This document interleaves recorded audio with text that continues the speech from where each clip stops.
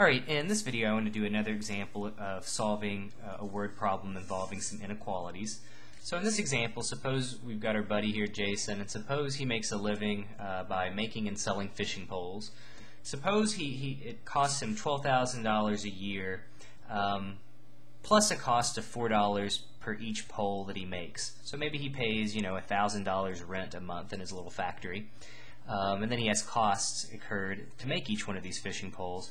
We want to know how many fishing poles he must make, assuming he can sell them all, um, if he wants to have a profit of $48,000 in one year, and if we know that he sells the fishing poles for $28 each.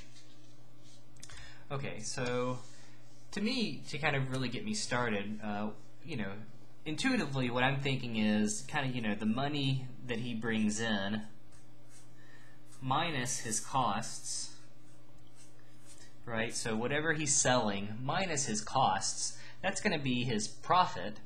Um, that's how much money he gets to keep. And we want that to be, um, so suppose we want him to make at least $48,000 here. So we said uh, to make a profit of forty-eight thousand um, dollars.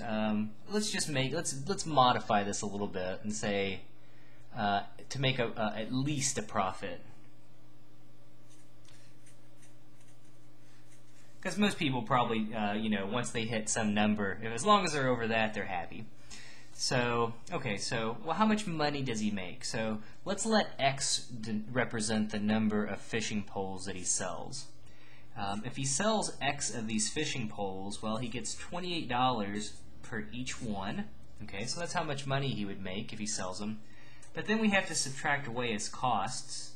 Well, his costs are 12000 plus he's got to shell out $4 per each one that he makes.